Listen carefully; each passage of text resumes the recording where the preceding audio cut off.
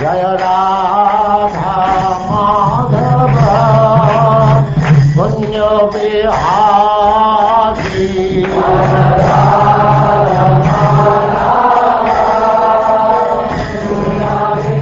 And now, chapter 75 Duryodhana humiliated.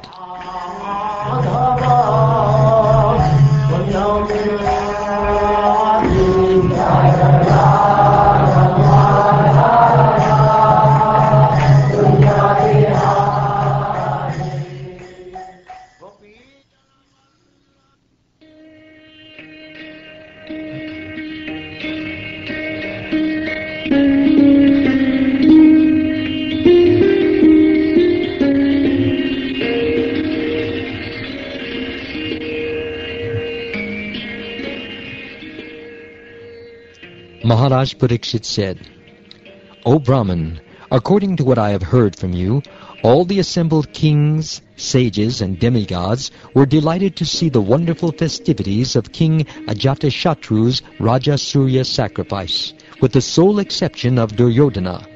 Please tell me why this was so, my lord. At the Rajasuya sacrifice of your saintly grandfather, his family members, bound by their love for him, engaged themselves in humble services on his behalf.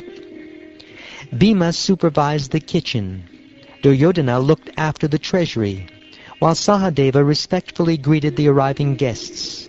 Nakula procured needed items.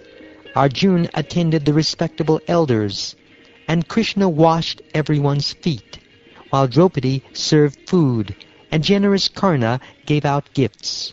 Many others, such as Yuyudhana, Vikarna, Hardikya, Vidura, Bhurishrava, and other sons of Bahlika, and Santardana similarly volunteered for various duties during the elaborate sacrifice.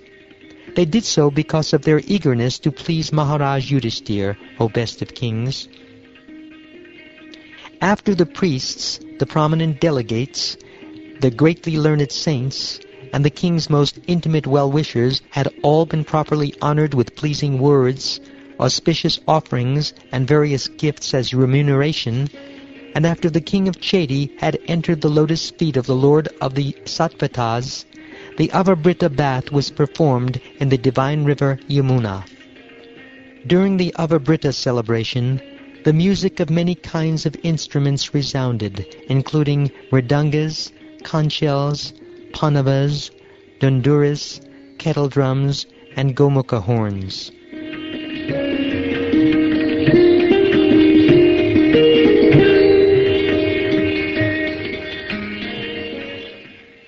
Female dancers danced with great joy, and choruses sang, while the loud vibrations of vinas, flutes, and hand cymbals reached all the way to the heavenly regions. All the kings, wearing gold necklaces, then set off for the Yamuna. They had flags and banners of various colors, and were accompanied by infantrymen and well-adorned soldiers riding lordly elephants, chariots, and horses. The massed armies of the Yadus, Srinjayas, Kambojas, Kurus, Kekayas, and Koshalas made the earth tremble as they followed Yudhishthira Maharaj, the performer of the sacrifice, in procession. The assembly officials, the priests, and other excellent Brahmins resoundingly vibrated Vedic mantras, while the demigods, divine sages, Pitas, and Gandharvas sang praises and rained down flowers. आरण्यान् ग्राम्याश्च ये तस्माद्यज्ञा सर्वभूतः ऋचः समानि जज्ञिरे Men and women, all adorned with sandalwood paste, flower garlands, jewelry, and fine clothing, sported by smearing and sprinkling one another with various liquids. The men smeared the courtesans with plentiful oil, yogurt, perfumed water, turmeric, and kunkum powder, and the courtesans playfully smeared the men with the same substances. Surrounded by guards, King Yudhishthir's queens came out on their chariots to see the fun, just as the demigods' wives appeared in the sky in celestial airplanes. As maternal cousins and intimate friends sprinkled the queens with liquids, the ladies' faces bloomed with shy smiles, enhancing the queen's splendid beauty. As the queens squirted water from syringes at their brothers-in-law and other male companions, their own garments became drenched, revealing their arms, breasts, thighs, and waists. In their excitement, the flowers fell from their loosened braids. By these charming pastimes, they agitated those with contaminated consciousness.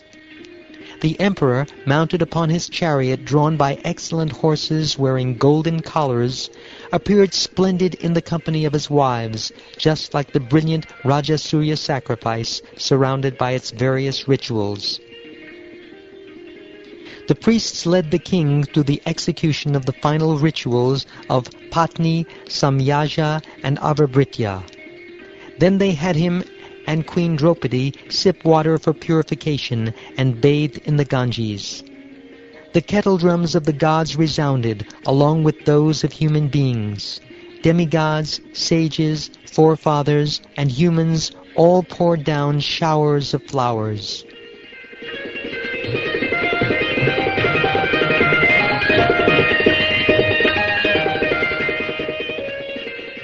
All the citizens belonging to the various orders of Varna and Ashram then bathed in that place, where even the most grievous sinner can immediately be freed from all sinful reactions.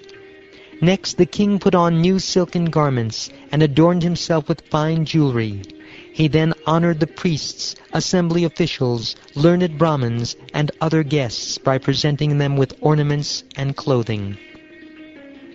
In various ways, King Yudhishthir, who had totally dedicated his life to Lord Narayan, continuously honored his relatives, his immediate family, the other kings, his friends and well-wishers, and all others present as well.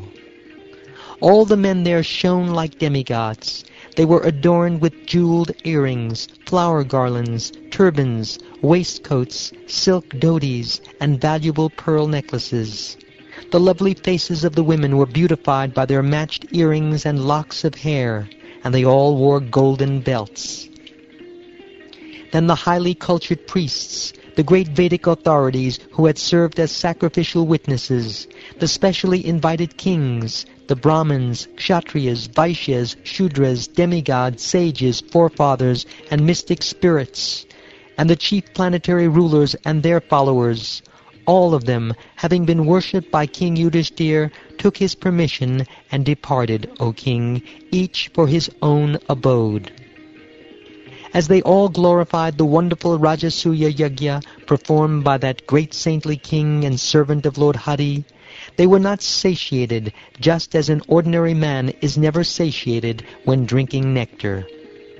At that time, Raja Yudhishthir stopped a number of his friends, immediate family members, and other relatives from departing, among them Lord Krishna. Out of love, Yudhishthir could not let them go, for he felt the pain of imminent separation. My dear Pariksit, the Supreme Lord remained there for some time to please the king, after first sending Samba and the other Yadu heroes back to Dwarka. Thus King Yudhishthir, the son of Dharma, was at last relieved of his burning ambition, having by the grace of Lord Krishna successfully crossed the vast and formidable ocean of his desires. One day Duryodhana, while observing the riches of King Yudhishthir's palace, felt greatly disturbed by the magnificence of both the Rajasuya sacrifice and its performer, the king, whose life and soul was Lord Achyuta. In that palace, all the collected opulences of the kings of men, demons, and gods were brilliantly manifest, having been brought there by the cosmic inventor Maya Danava. With those riches, Draupadi served her husbands, and Duryodhana, the prince of the Kurus, lamented because he was very much attracted to her. Lord Madhupati's thousands of queens were also staying in the palace. Their feet moved slowly, weighed down by their hips, and the bells on their feet tinkled charmingly. Their waists were very slender. The kumkum from their breasts reddened their pearl necklaces, and their swaying earrings and flowing locks of hair enhanced the exquisite beauty of their faces. It so happened that Emperor Yudhishthir, the son of Dharma, was sitting just like Indra on a golden throne in the assembly hall built by Mayadanava. Present with him were his attendants and family members, and also Lord Krishna, his special eye. Displaying the opulences of Brahma himself, King Yudhishthir was being praised by the court poets. Proud Duryodhana, holding a sword in his hand and wearing a crown and necklace, angrily went into the palace in the company of his brothers, O king, insulting the doorkeepers as he entered. Bewildered by the illusions created through Mayadanava's magic, Duryodhana mistook the solid floor for water and lifted the end of his garment. And elsewhere he fell into the water, mistaking it for the solid floor. My dear Pariksit, Bhima laughed to see this, and so did the women, kings, and others. King Yudhishthira tried to stop them, but Lord Krishna showed his approval. Humiliated and burning with anger, Duryodhana turned his face down, left without uttering a word, and went back to Hastinapur. The saintly persons present loudly cried out, Alas! Alas! And King Yudhishthir was somewhat saddened. But the Supreme Lord, whose mere glance had bewildered Duryodhana, remained silent, for his intention was to remove the burden of the earth. I have now replied to your question, O king, concerning why Duryodhana was dissatisfied on the occasion of the great Rajasuya sacrifice.